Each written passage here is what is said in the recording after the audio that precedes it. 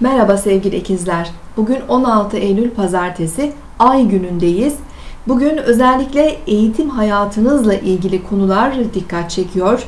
Kendinizin olabilir veya yakın çevreniz, çocuklarınız olabilir. Onların eğitim hayatıyla ilgili e, gün boyu e, haberleşmeler içerisinde olabilirsiniz veya kısa seyahatler yapabilirsiniz. E, bugün daha önceden bitirdiğiniz bir eğitim programının yaşamınıza olan katkılarını daha net görmeye başlayabilirsiniz. Veya önümüzdeki günlerde işiniz veya kişisel gelişiminiz için size faydalı olacağını düşündüğünüz bir kursa kayıt da yaptırabilirsiniz.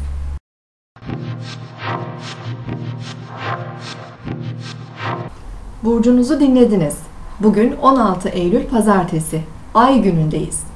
Kova burcunda ilerleyen ay sabah 11.20'de Mars'la karşıt açı yapacak ve ardından boşluğa girecek.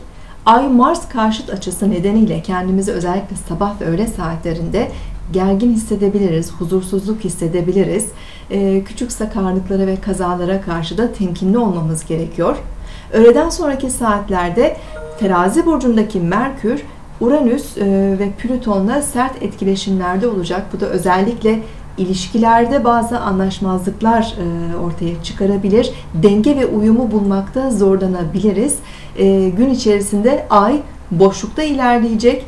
Özellikle öncü grupların koç, terazi, oğlak ve yengeç burçlarının ikili ilişkilerine, özel hayatlarında ve iş hayatlarındaki iletişimlerine dikkat etmeleri gerekiyor. Yarın tekrar görüşmek üzere. Hoşçakalın.